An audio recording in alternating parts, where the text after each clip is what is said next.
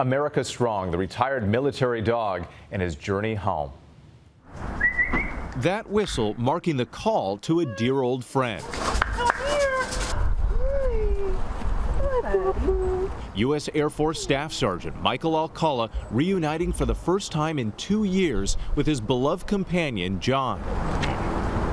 Oh, yeah, thank you, buddy. John was trained as an explosives detection dog for years, working with Sergeant Alcala out of Joint Base Pearl Harbor Hickam in Hawaii. John means a lot to me. He was my best friend, and he got me through each day. And whenever it was getting hard, he would always lift my spirits. The duo was inseparable until Sergeant Alcala was transferred in 2021.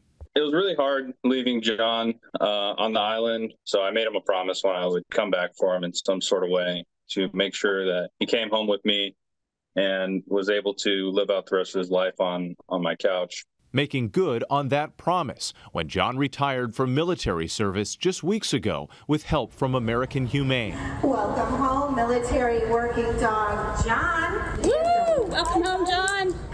Good job, buddy. John meeting the rest of his forever family, making the quick transition from a life of service to spoiled with love. It just fills my heart to have him with me. Good boy. Thank you to have my best friend at my side again, just pure happiness and joy for him to finally get the retirement he deserves. A beautiful reunion. Cheers to a great retirement. Hi, everyone. George Stephanopoulos here. Thanks for checking out the ABC News YouTube channel. If you'd like to get more videos, show highlights, and watch live event coverage, click on the right over here to subscribe to our channel. And don't forget to download the ABC News app for breaking news alerts. Thanks for watching.